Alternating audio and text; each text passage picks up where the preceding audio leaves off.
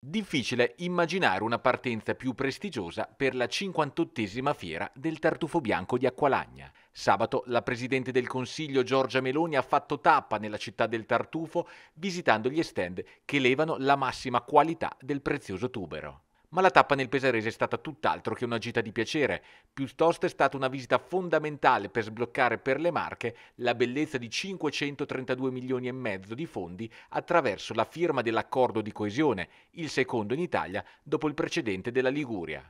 Una stretta di mano fra Stato e Regione suffragata alla presenza del ministro Raffaele Fitto e del governatore Francesco Acquaroli che ha accolto la Premier ad Acqualagna assieme al sindaco Luca Lisi.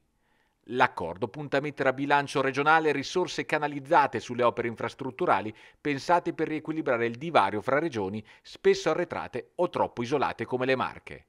532 milioni che saranno canalizzati su strade, porti e politiche attive per l'entroterra. Oggi è una tappa molto importante, la firma dell'accordo di coesione tra il governo e la regione con il quale anche insieme al fondo di rotazione mobilitiamo oltre mezzo miliardo da concentrare particolarmente sulle infrastrutture di collegamento della regione eh, con progetti molto importanti per questo territorio, penso alla pedemontana che ci consentirebbe e ci consentirà di intanto decongestionare l'autostrada adriatica ma dall'altra parte anche di favorire eh, la mobilità da, verso e all'interno eh, delle, eh, delle aree più interne, mi scusi per la ripetizione, per cui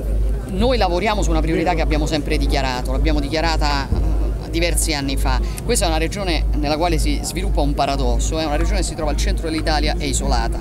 mentre dovrebbe essere un crocevia, quindi la sfida infrastrutturale per una regione come questa è fondamentale, il Presidente Acquaroli ci lavora dall'inizio del suo mandato, noi siamo contenti di offrire con questo accordo eh, con il governo nazionale in base ai fondi europei il nostro contributo perché penso che